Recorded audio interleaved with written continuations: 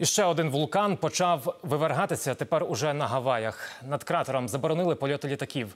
А на Канарах лава з вулкана, що потрапляє в океан, утворила на воді своєрідний півострів площею 20 гектарів.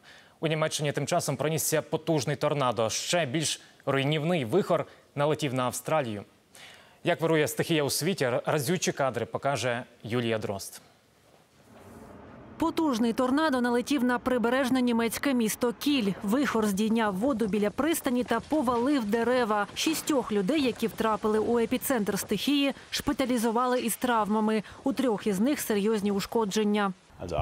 Чоловіки стояли на причалі, намагаючись утримати човни, і торнадо налетів просто на них. Двох ударило уламками, інші попадали у воду. Щороку в Німеччині стається приблизно зо півсотні буревіїв, але настільки потужні тут неабияка рідкість. Зазвичай таке бачиш тільки у новинах. В реальному житті торнадо це зовсім не те, що уявляєш. Так само аномальний, але ще потужніший ураган пронісся в Австралії на захід від Сіднея. Торнадо тут пройшов 25 кілометрів. В одних будівлях сильно пошкоджений дах, в інших його немає зовсім. Ось усе, що лишилося від цього будинку: підлога, три стіни і меблі в кімнаті. А не такі міцні господарські приміщення взагалі перетворилися на купу уламків. Троє людей унаслідок негоди травмовані.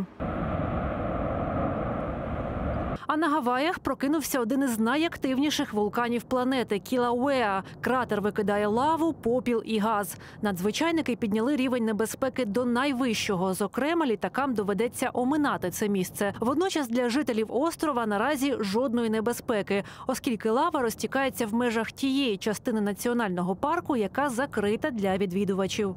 Тим часом на Канарському острові Ла-Пальма, де вивергається вулкан Кумбрев'єха, погіршується стан повітря. У двох селищах поблизу кратера зафіксували підвищення рівня діоксиду сірки. Її несе вітром звідти, де розжарена лава падає в океан. Місцева влада просить громадян або залишатися вдома, або надягати респіратори, виходячи на двір. Лава вже вкрила майже 500 гектарів, знищила понад 800 будинків та 30 кілометрів доріг.